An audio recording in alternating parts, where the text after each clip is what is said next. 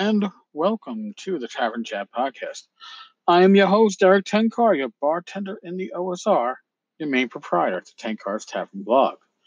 Uh, today is Father's Day, but that doesn't stop the news from rolling in. And uh, we got a little bit of interesting news. Uh, I don't know if it's Schadenfreude.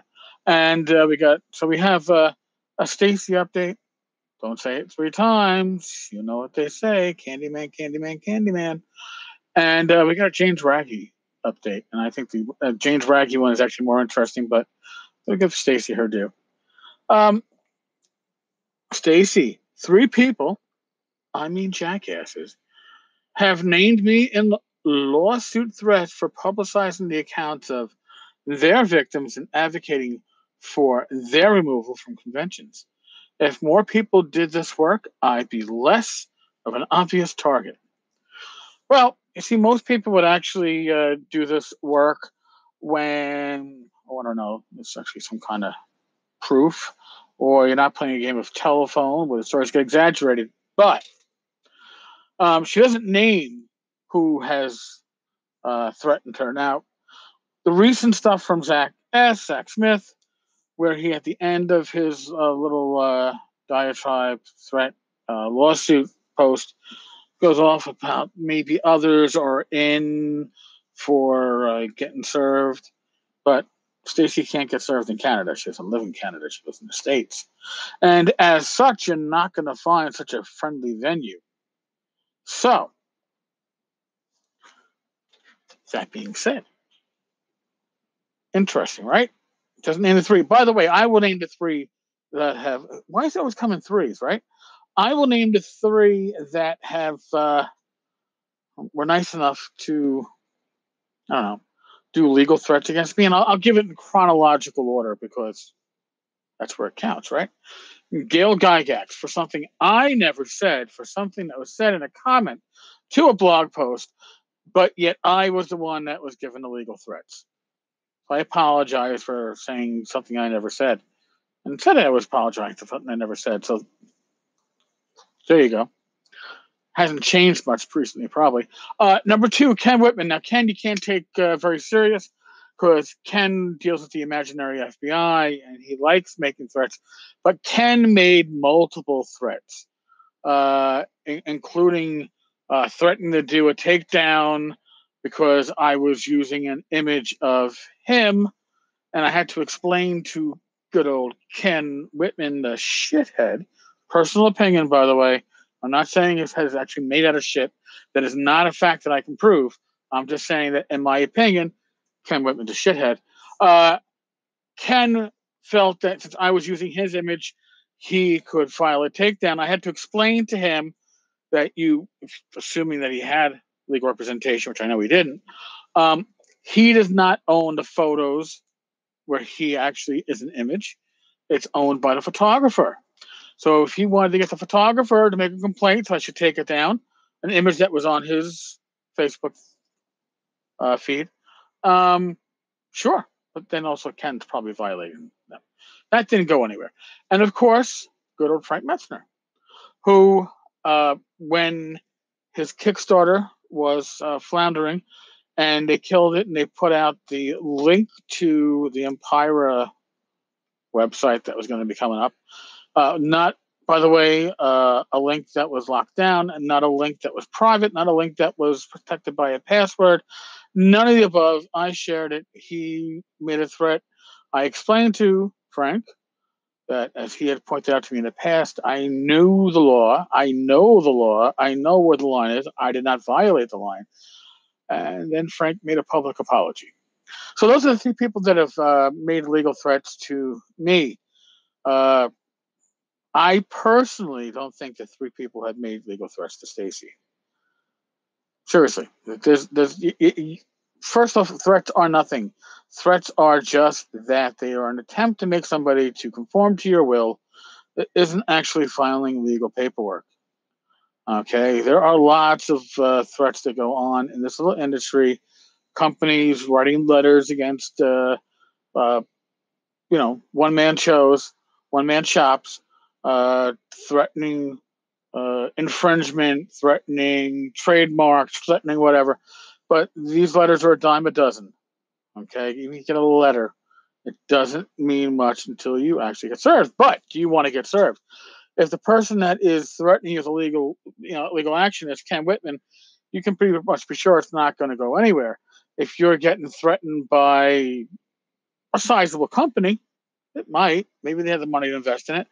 Most likely, it's just going to be a letter because nine out of ten of us are going to say, "Oh shit, uh, I don't want to get caught up in this shit. I don't have the money to fight this." But yes, Stacy, I don't think you got three threats. You might have had one. Um, it might be Zach. You know, uh, I'm sure he's pissed, and he's bitter enough to actually follow through. So you never know. But let's go on to the Raggi Biz. Raggi has an update. Lamentations of the Flame Princess RPG. Everything's been a mess lately, but to clear up any rumors. Number one, direct sales have been down since January 1st, mainly because the Finnish post office got rid of the mid price shipping option. So the options are one book or super wildly expensive shipping. But convention and distribution sales have been steady to above average, so nothing collapsed since the Zach thing not even sales of Zach's books. Plans are in place for a U.S. fulfillment option, but things go ever slowly on getting anything done. Well, that can't bode well if you can't ship books. All right. Yes, convention sales are great. Distribution is awesome, but it was my understanding that Raggi did the bulk of his business through his own fulfillment, his own shipping. Sorry to see that issue. Like that's just sucks. All right, number two. The reason the new books haven't been put up in the web store here is frankly because there will still be a surge of orders when I do so, and I don't have time to deal with it at the moment. Before the end of the month, I'd guess. Uh, if he doesn't have time, it sounds like it's a staffing issue. I know Raggi was mostly a one man show, but I thought we were a little bit beyond that. We're in three. We're not going anywhere. Apparently, there's been this thing going around saying I'm intending to get out of the business. I don't see that happening. Uh, first off, James likes the attention, uh, and James puts together good shit. I mean, it's not all usable, but pre- presentation wise, uh, it's top notch. Art wise, fucking awesome. Uh, party fuck wise, yeah, um, you know, maybe good for a convention game, but not necessarily good in your your I don't know, ongoing campaign. But still, they're solid releases. Uh, it's not like um either independently wealthy or very employable in a normal job, so we're stuck with each other. Eh, get a haircut. You're probably employable. Maybe you don't speak Finnish as your primary language. I'm assuming you've gotten fairly fluent without there, though, but we shall see. Number four, we should have four new books for Gen Con Similar to last year, Zzarchov, Kelvin, Murphy, and Rose, plus a special You Won't Believe It book, plus a Gen Con exclusive t shirt, and the catalog will this year be a small booklet with an exclusive gaming content thing. All right. Interesting. Five, yeah, we're doing some company reorganization and personnel changes. All right. Again, I don't remember, besides the community uh, person who for a while was you guessed it, Stacy. Back when she said Lamentations of the Flame Princess was an OSR. Um, this has been an awful, awful year. I need to make sure things are better for the future. No, I won't comment on specifics. Fair enough. Uh, we can spitball this one if we want. I think I already have. Um, but if you've got thoughts on this, please leave a voicemail. Number six, ref book. Now, this is where I am certainly interested because I backed this how many fucking years ago? Ref book worked honestly. I guess he meant work. Work honestly. Just stopped dead when the Zach thing hit. It is so late. I really don't think. I think the work could probably stop prior or was trickling. It couldn't have been a lot of work being done on it at this point because there's really been no updates. Um, hell, most everything just stopped dead when that happened and things are only now picking back up in a lot of places. All right, I'm going to comment at the end of this.